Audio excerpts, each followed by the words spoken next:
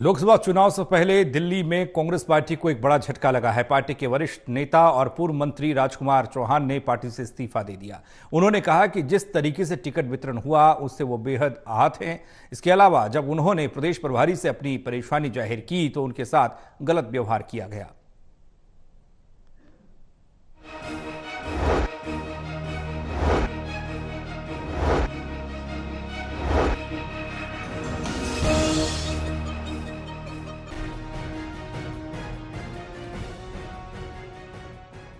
राजधानी दिल्ली में कांग्रेस पार्टी में कुछ भी ठीक नहीं चल रहा। ताज़ा मामला दिल्ली की उत्तर पश्चिमी लोकसभा सीट से जुड़ा है।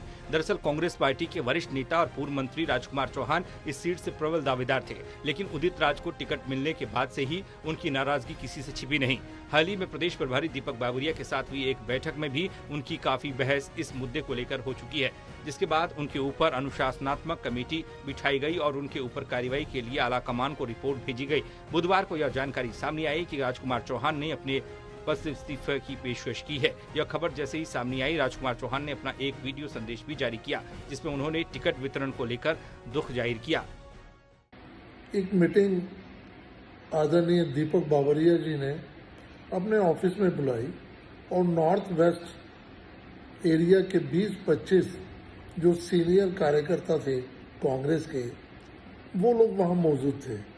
हम जब अपनी बात रख रहे थे तो बावरिया जी ने मुझे अपनी बात रखने का मौका नहीं दे रहे थे और बार बार कह रहे थे, बाहर जाओ गेट आउट मैंने सख्ती से अपनी बात रखी।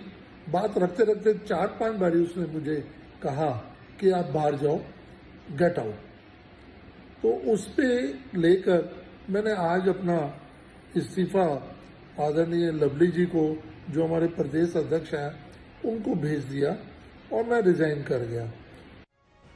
राजकुमार चौहान ने कहा कि वह और उनके परिवार कांग्रेस पार्टी का निष्ठावान कार्यकर्ता रहे हैं। उन्होंने कहा कि वह कभी भी ऐसा कोई कदम नहीं उठाएँगे जिससे पार्टी को नुकसान पहुँचे। लेकिन उन्होंने टिकट वितरण को लेकर भी कई गंभीर आरोप नेतृत्व के ऊपर लगाए। उन्होंने कहा कि अगर पार्टी चाहेगी तो वह इस्तीफा देने के लिए भी तैयार है। फ़िलहाल उन्होंने अपने द्वारा लिखे गए एक पत्र को पार्टी के प्रदेश अध्यक्ष अरविंदर सिंह लवली के पास भेज दिया है।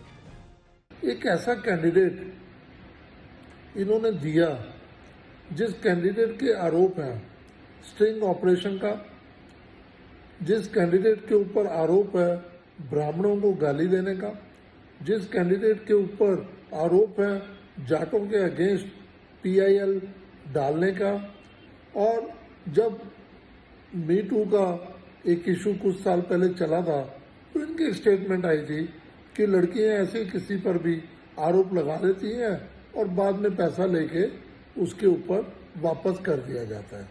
तो इस तरह का आदमी और जहाँ जाता है, वहाँ पैसे लेने के अलावा कोई बात नहीं करता। इस आदमी को कांग्रेस का टिकट तो ज़रूर मिला है, लेकिन इसको इलेक्शन नहीं लड़ना। इसको सिर्फ़ सिर्फ़ पार्टी से और लोगों से पैसा मिल जाए और बस, इसको इलेक्शन जीतने का तो सवाल ही नहीं पैदा होता। राजकुमार चौहान ने कहा कि उन्होंने हमेशा पार्टी के अनुशासन के तहत काम किया। उन्होंने कहा कि जिस तरीके से प्रदेश प्रभारी के साथ हुई बैठक में उनके साथ अभद्र व्यवहार किया गया, उससे वो बेहद आहत हुए। राजकुमार चौहान ने अपने पत्र में उदित राज के उम्मीदवार बनाए जाने पर भी सवाल खड़े किए हैं। Pranay Sharma total news Delhi.